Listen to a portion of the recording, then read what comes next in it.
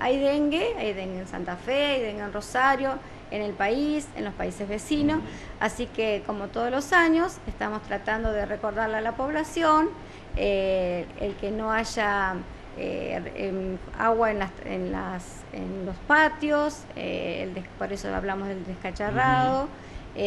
tratar de, mantener siempre todo lo que junte agua de lluvia, dado vuelta, como decimos siempre, que no haya cubiertas, todas esas cosas en los patios, los jueguitos de los chicos, hasta en las tapitas de gaseosa, lo que sea, el agua que se junta ahí puede haber, eh, poner el, eh, la larva, el huevito, el mosquito.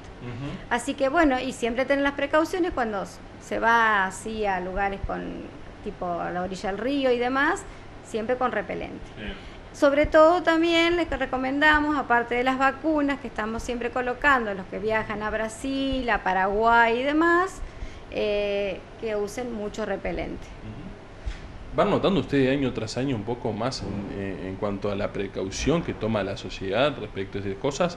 ¿O aún continúa la lucha de, concientización, por así decirlo? Hay que continuar con la lucha. Es una lucha. Es una lucha. Es una lucha. Tanto el tema de vacunas, mm. hemos logrado algunos, eh, sobre todo en la lucha con los adultos, son los que más cuestan que vengan. Mm. Eh, hacemos a veces, y de paso les recuerdo, que las hepatitis B son tres dosis, que si no se completa el esquema no tiene sentido, no sirve la vacuna, no están protegidos, así que por favor, todos aquellos que nos están debiendo venir a colocarse la segunda y la tercera dosis, que vengan.